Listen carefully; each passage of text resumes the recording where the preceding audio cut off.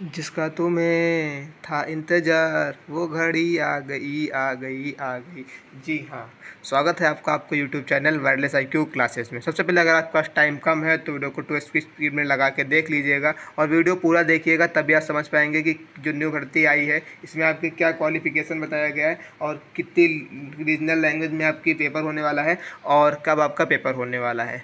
तो सबसे पहले आपको एस एस में जिन लोगों का पी की लिस्ट में नाम आ गया, उन लोगों को बहुत ही कॉन्ग्रेचुलेसन और जिन लोगों का नाम नहीं आना, आया है, उन लोगों को हताश, निराश नहीं होना है। तो उन लोगों के लिए एक नया सुनहरा अवसर आया है, जिसमें आपको सीएपीएफ की भर्ती के बारे में आपको कुछ बताया जा रहा है।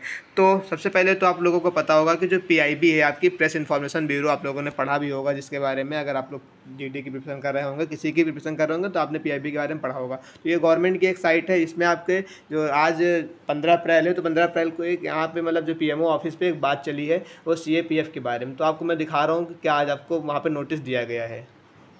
तो साइट में जैसे ओपन कर रहा हूँ तो साइट तो आप देख सकते हैं। यहाँ पर आप जैसे आएँगे तो नीचे थर्ड नंबर पर आपको दिख रहा होगा। तो मैं इसको हिंदी में लगा दे रहा हूँ तो सब जल्दी समझ जाएँगे। जैसे आप इसको हिंदी में लगाएँगे सबसे पहले तो आपको मैं बता दूँ कि जो एस एस की न्यू नोटिस के भर्ती के पीछे आप लोग पूछ रहे थे कि एस की न्यू भर्ती कब आएगी तो उसी के लेके जो पीएम ऑफ़िस में एक बात चली है सीएपीएफ आपको पता होगा, गृह मंत्रालय के अधीन आती है तो गृह मंत्रालय के ज़रिए एक वो पास हुआ है, जिसमें आपके बारे में कुछ बताया जा रहा है। तो तो ये आप देख सकते हैं, ये थोड़ा सा बैक हो गया, फिर से मैं ओपन कर लेता हूँ इसको।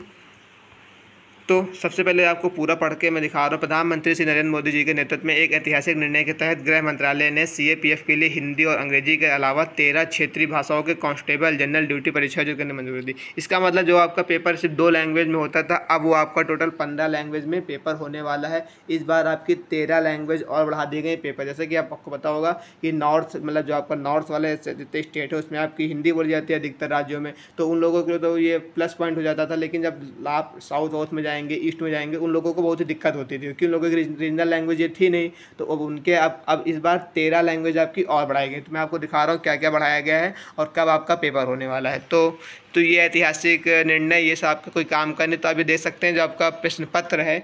अब वो आपका हिंदी, अंग्रेज़ी के अलावा असमिया, बंगाली, गुजराती, मराठी, मलयालम, कन्नड़, तमिल, तेलुगु, उड़िया, उर्दू, पंजाबी, मणिपुर और कोंकणी में तैयार किया जाए। यानी इस बार आपका टोटल जो पेपर होगा वो पंद्रह लैंग्वेज में आपका होने वाला है। तो इस निर्णय के परिणाम स्वरूप तो ये सब आप तो आप ज़्यादातर तो इसमें नॉर्थ लोग से जुड़े तो इसके अकॉर्डिंग तो इसमें मतलब कुछ है ही नहीं उनके लिए। तो ये आप देख सकते हैं आप बात कर लेते हैं आपका कब पेपर होगा। तो हिंदी और अंग्रेज़ी के अतिरिक्त तेरह क्षेत्रीय भाषाओं को परीक्षा का आयोजन एक जनवरी 2024 से होगा। यानी उन्होंने जब डेट मेंशन की उन्होंने उनके अकॉर्डिंग एक जनवरी 2024 से आपका पेपर होने वाला है जो इन, जो लैंग्वेज आपकी जोड़ी गई है ये। तो यानी CAPF का जो अगला पेपर आपको देखने को मिलेगा वो एक जनवरी दो हज़ार चौबीस को मिलेगा। ये एक आर्टिकल मतलब इतना बोला गया और मैं आपको नीचे दिखा रहा हूँ और क्या इसमें बताया गया है। तो ये आप इसके ये वही जो आपके बारे में बोला गया वही आपका बोला गया इसमें आपको दिख रहा है नीचे कि तेरह लैंग्वेज के बारे में बताया गया है। ये ये और ये आपका कोई भी काम का चीज़ नहीं जैसे कि आप यहाँ देख सकते हैं। कि कांस्टेबल, यानी जो जनरल ड्यूटी का आपको पता होगा, एसएससी पेपर कराती है तो कर्मचारी चयन आयोग द्वारा आयोजित प्रमुख परीक्षाओं में से एक है, जिसमें देश भर के लाखों उम्मीदवार भाग लेते हैं। इस बार इसमें हिंदी, अंग्रेज़ी के अतिरिक्त तेरह क्षेत्रीय भाषाओं को परीक्षा में शामिल किया जाएगा। आयोजन एक जनवरी दो से होगा, यानी पेपर की डेट कन्फर्म कब बताई उन्होंने? एक जनवरी दो हज़ार चौबीस से अभी तक उन्होंने ये कन्फर्म डेट बताई। अब कन्फर्म ये है कि नहीं, इसके बारे में नहीं कह सकता हूँ, लेकिन अगर उन्होंने बोला है तो आपको पता होगा कि, आपको जैसा ही पता होगा कि चौबीस में इलेक्शन है तो चौबीस से पहले तो मेरे अकॉर्डिंग तो अनुमान यही है कि वो लोग एग्ज़ाम करा देंगे रिज़ल्ट दे ना दे, लेकिन चौबीस में आपको वो एग्ज़ाम तो ज़रूर करा लेंगे अपने, वो इलेक्शन होने से पहले। तो ये आप देख सकते हैं तो जिन लोगों का नाम नहीं आया है एस में हताश, निराश मत हो। पढ़ाई करते रहिए साथ साथ आपको यूपी पुलिस और दिल्ली पुलिस आने के साथ साथ आपका एस का भी एक जी का न्यू नोटिस आपको दिख गया, यानी आपको पढ़ाई बिल्कुल कंटिन्यूस कर देनी है। अब आपको कुछ भी हिलाली नहीं करनी है। तो एक जनवरी दो चौबीस से पेपर आपका स्टार्ट है तो आप देख सकते हैं तो बिल्कुल जी जान झोंक दीजिए तो आप देख सकते हैं। तो वीडियो अच्छा लगा हो तो वीडियो को लाइक करना। मिलते हैं नेक्स्ट वीडियो में। Bye bye. Take care. Jai Hind.